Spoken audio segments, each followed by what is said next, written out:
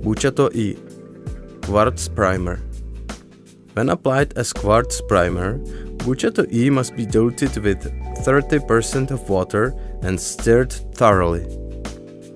Apply with a white brush according to the direction of the decorative coat to be created. Created quartz coat will increase adhesiveness and facilitate application of further coats.